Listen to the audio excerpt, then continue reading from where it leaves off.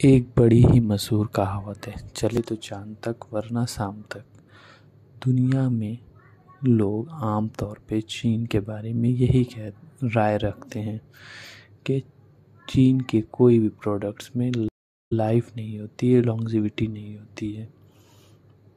मगर कुछ ऐसे भी प्रोडक्ट्स हैं जो इन्वेंट तो हुए थे, बनाए तो गए थे प्राचीन चीन में, मगर हज़ारों साल गुजरने के बावजूद आधुनिक दुनिया में अभी भी इस्तेमाल है और जब तक ये दुनिया रहेगी, तब तक इस्तेमाल में आते रहेंगे।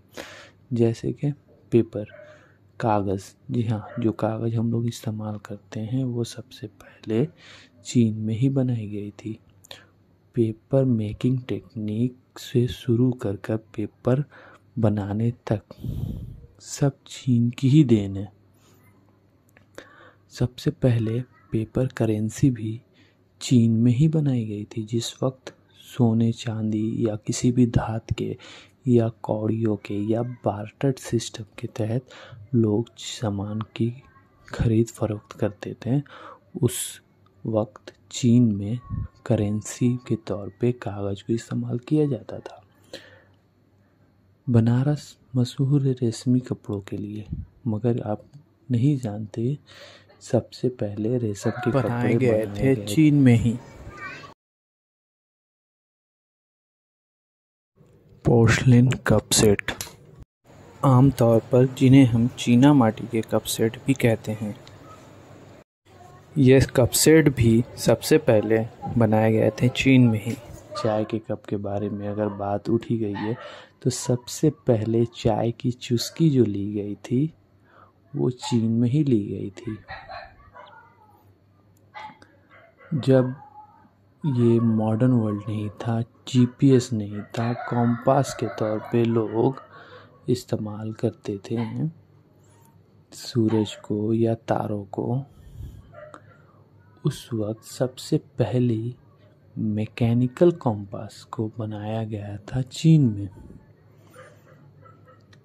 आज के वक्त में किसी भी देश अपनी रक्षा करने के लिए, बताने के लिए, या अपने देश को डिफेंड करने के लिए, या किसी और भी देश को हमले करने के लिए, या गलत इस्तेमाल में लाने के लिए भी जो सबसे अहम चीज़ है, वो है गन।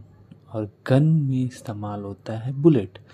बुलेट में इस्तेमाल होता है गन पाउडर ये गन पाउडर भी सबसे पहले चीन में ही बनाई गई थी।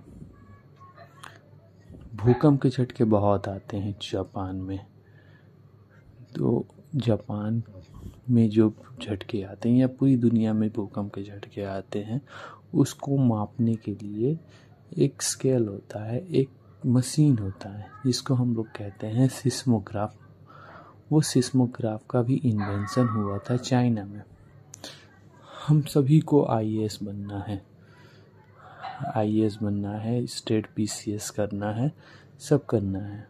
मगर, क्या आप जानते हैं कि ये सिविल सर्विस जो है सिविल सर्विस का exam proper civil sir proper civil service का एग्ज़ाम का जो पूरा तरीका है उस इंट्रोड्यूस किया गया था चीन में।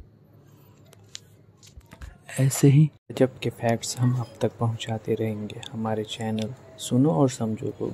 यूट्यूब पे सब्सक्राइब करना और इंस्टाग्राम पे फॉलो करना ना भूलें।